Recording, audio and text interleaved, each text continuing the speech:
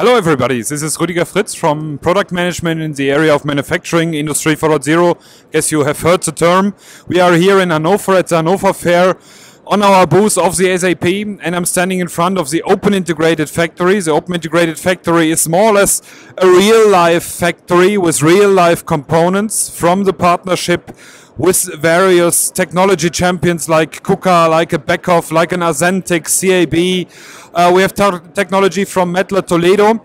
And the nice thing is, SAP is actually talking directly to this machine. It is coming from SAP software that a robot shall move, that a mover shall go to a certain position, that a camera shall take a picture. It's all about cutting this machine into service units, and we as SAP can compose and orchestrate these services. We know the production order, we know what needs to be done, we know the routing, we know the material master, and now we cut all this routing in such small details that we can even tell a mover or a, a scale to, to weigh, we can uh, tell a camera to take a picture, we can tell the camera we expect a certain um, uh, size or, or color of a product. It's all about service orientation in production, so things that we as SAP guy know quite well since I'm here. So SOA architecture, service-oriented architecture, but taking this apply now service-oriented architecture in production is a very new and very cool thing.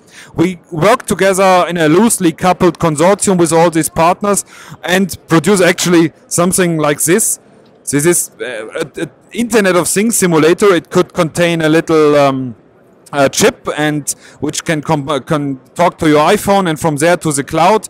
So it's all about the future challenges of manufacturing industry 4.0 where we as SAP have already solutions for. And it's not just a concept, it's not just a, it could be this way, it's our standard portfolio where we run this machine on.